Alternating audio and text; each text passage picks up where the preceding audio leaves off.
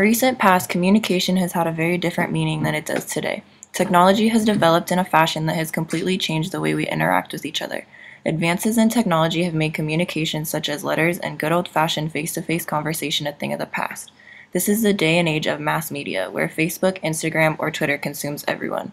Our cell phones never leave our side because they are the fundamental basis of our everyday functions.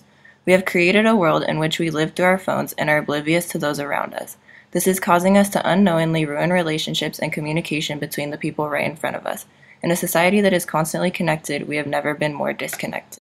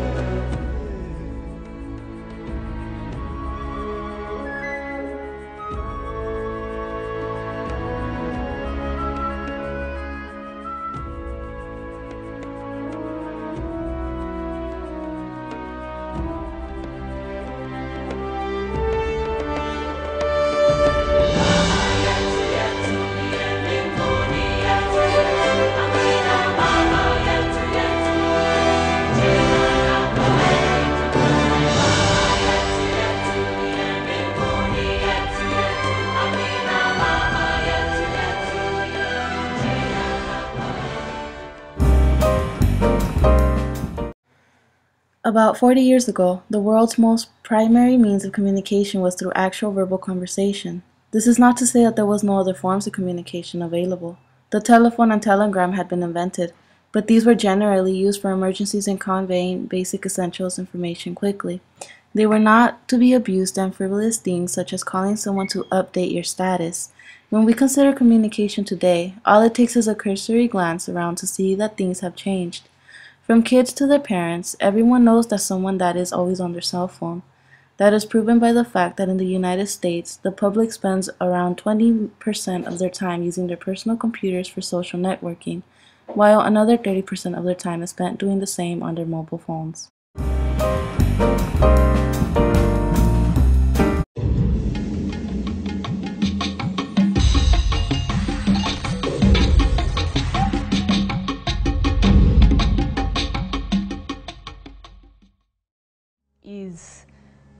The fact that we're on social media all the time and we're reading a sentence here and a, looking at a picture there and then having a quick conversation and then, you know, Multitasking. multitasking, which women are fabulous at apparently. And The female brain's wired for that. Yeah.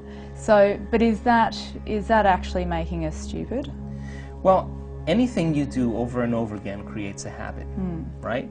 So if your attention span is only for 15 seconds or 10 seconds before you change to the next thing, if you practice that every day, you will hardwire that skill or habit into mm. your brain. And so now you have to pay attention and you really have to learn something.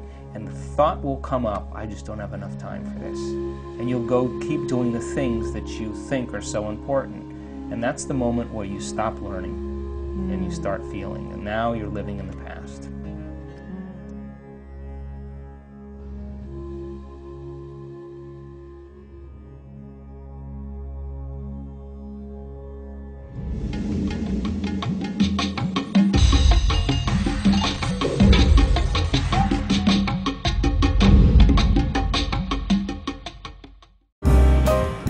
Part of what is alarming about this large amount of time spent on social media websites is how quickly it became a common occurrence.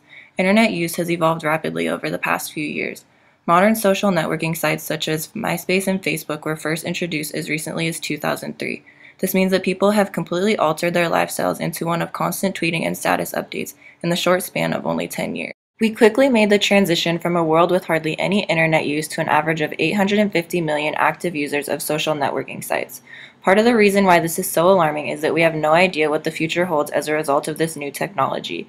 There is no generation before us that can be viewed as an example to what the possible physical and psychological effects these websites may be having on us.